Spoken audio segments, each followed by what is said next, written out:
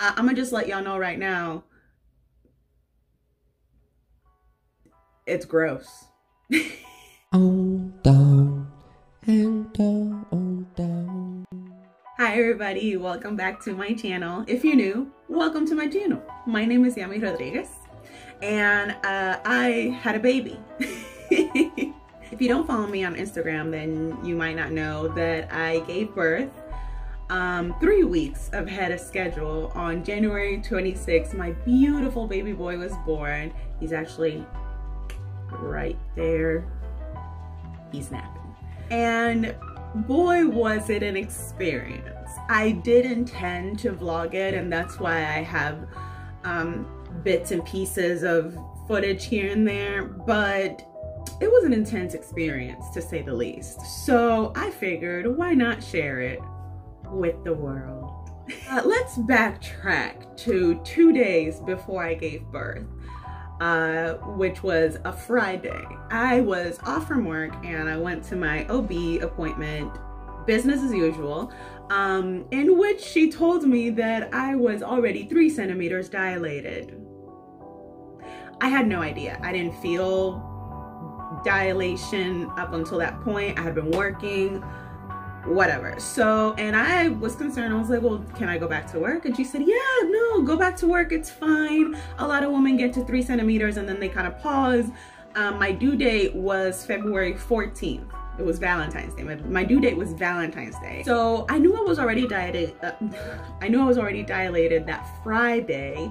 Um, but like I said, my doctor didn't seem too concerned with it, so I wasn't too concerned with it. And I went to work on Saturday. And I was having a little bit of discomfort, nothing major. I had been having horrible Braxton Hicks pretty much from like the middle of my second trimester up until I gave birth. It was, it was awful. Uh, before I went back for dinner time for the residents, I went to the bathroom and I noticed that there was some spotting um, and I freaked out. I was so, so scared um, because that hadn't happened, you know, in my pregnancy at all. Mind you, the day before my OB did check my cervix and um, she did tell me that I might experience some spotting um, and to not worry but I just didn't feel right. I had been having the Braxton Hicks on and off pretty much all day, nothing consistent. Um, so I called the on-call number and they basically told me, why don't you go ahead and come on in? We'll check you out. It's probably nothing. When I got to the hospital, honestly, I was under the impression that I was just gonna get checked out. They were probably gonna give me something to stop the labor pain and maybe put me on bed rest and send me on my way. That's not what happened at all. And when they checked my cervix at the hospital in triage, I was actually four centimeters instead of three. So labor was happening. Right off bat, I told them that um, I didn't want an epidural. I didn't want any pain management whatsoever. I nothing. Like I wanted fluids and I wanted them to leave me alone. um, and boy, was that decision quickly in question as my labor progressed. I mean, there were so many, so, so many times I called the nurse up in there throughout the night to ask if there was anything other than an epidural that could help me with my pain every single time she said, there's really nothing else we can give you that'll help you feel better other than the epidural. For me, it was more of like, I, I, I want to do this. I want to be able to, I want to feel everything and I want it to be drug free and I don't want an epidural. I don't want this huge needle in my back.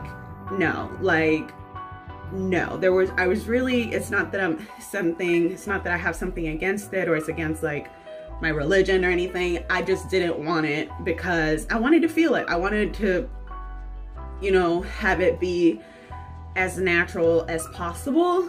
Um so i stuck to my guns but boy was that hard. You know how people tell you that like a contraction is kind of like a period cramp? That's bullshit. It's such utter bullshit. There was legit no other pain that I had ever felt in my 26 years of life that I could have compared it to the pain of labor. Nothing. And I know some guys are like, well, getting hurt in the balls, you know, and if you get kicked in the balls, it kind of hurts. Listen, I don't got balls, okay? But shit was not fun it was tough. Nobody got a lot of sleep in that room that night, especially me, um, because I would try to fall asleep, but then a contraction would come and fuck my whole shit up. At one point throughout the night, at one point of the night, they did give me something to kind of like calm me down, which is understandable because I was very anxious and I was in a lot of pain and I could not relax. Um, and every time they checked me to see if I was dilated, um, I was dilated a little bit more a little bit more, a little bit more, but not enough to break my water. So if you're wondering, what does a contraction feel like? Bruh.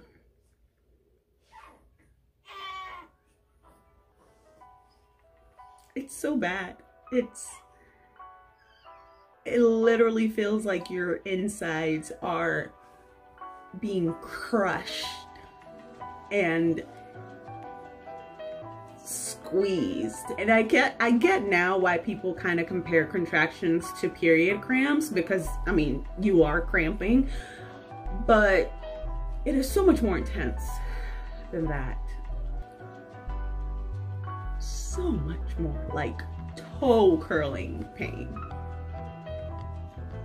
So bad. They checked me and I was fully dilated. Um, at that point, the doctor finally came in and decided to break my water. Now, let me tell y'all about this situation because it was intense. So he basically came in with like this long chopstick looking thing. And I was like, where the fuck are you gonna stick that at? And he was like, okay, well, you know, you're fully dilated, so we're gonna break your water.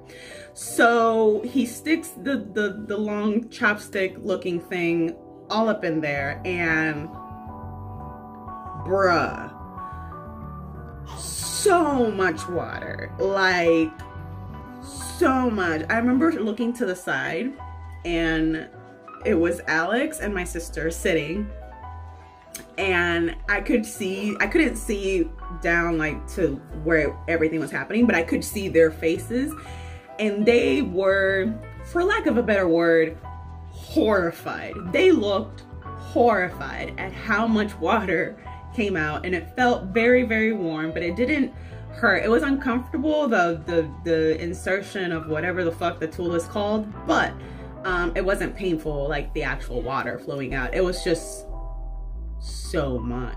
So after that, about 30 or 40 minutes go by and I'm like, okay, I need, I, I feel like I need to push. So we did a couple practice pushes with my mom there. So my mom was here and then it was Alex and then it was my sister and um, it was Sunday the 26th. Um, I pushed for about 45 minutes or so. Um, it felt it felt like it went by really really fast. Pushing sucked. Pushing sucked. There was no there's no. And I remember at one point I screamed I, I, I, I screamed a lot. Um, there was one point that I screamed, he's not gonna fit, he's not gonna fit. Um, the reason why is because the inside of my thighs and my pel my my whole pelvic area felt like it, it was being stretched out to the max. Like the bones felt like they were being pulled to the max. And I, I remember saying, he's not gonna fit. He's not gonna fit. And everybody was like no don't say that. You're doing great. I'm like no i'm telling you he's not gonna fit. This is where i learned just how much your body can take when you're delivering. Because boy was that something. So I pushed a few a few times really. It, it was the pushing was by far the most painful, more painful than the labor, more painful than the contractions. Bad. Bad. Bad. uh, and it was so frustrating because I kept pushing and it felt like he was almost there, but then the contraction would stop and then I would kind of like relax a little bit. And then, so like people kept, like my mom and my sister were like, he's here, he's here. And that when I would stop pushing, no, he's not here because, you know, when you stop pushing, the baby kind of comes back in. Um, so around eight o'clock in the morning or so was really when everybody and their mom came into my room. There were so many nurses, the doctor, everybody. And um, and it was, I mean, it was it was basically showtime at that point. Um, and, and there was epidural, there there was no going back at this point. It was just like you you're you're having this, you know, he's coming. He's coming. so they ended up did having to um, perform what's called an episiotomy um, because I knew, they didn't know, but I knew he wasn't gonna fit through there. It was just too much, okay? So I pushed and I pushed and I pushed. And after one good time, that was it. He was here. I remember looking down and it was kind of like, it's hard to explain. Um, and I saw him and it, it was unlike anything I've ever seen. He came out, he had so much hair everywhere and um, I immediately know that I wanted to do skin to skin um, before anything. Um, Alex cut the umbilical cord after a while um, and they put him immediately, they put him right on my chest and he, I remember the doctor vaguely like stitching me up down down there. Um, but I don't I don't remember the pain at that point because he was here. He I had him. He was he was here and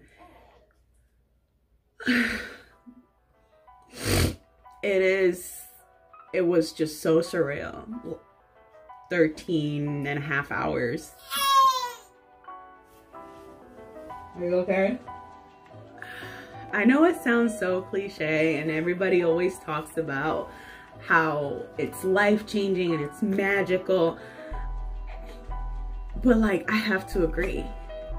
Ain't that right, buddy? Yeah. I, I was so in love. I, I feel so in love currently. um, and yes, it was painful and I'm not gonna lie, I don't wanna do that again as of right now, ever, because it was so painful.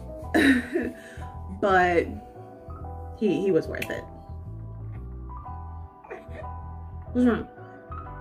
Ooh, big yawn. Oh yeah. Oh yeah, being a baby is exhausting, ain't it? If you like this video, please please give it a thumbs up. And if you didn't like it, still give it a thumbs up. Because, I mean, look at how cute we are. Look at how cute we are. I hope you're having an awesome day and an awesome rest of the week wherever you are. And I will talk to you guys in the next one. Remember to subscribe and always, always be kind. Mwah. Want blow kisses? Mwah. Bye.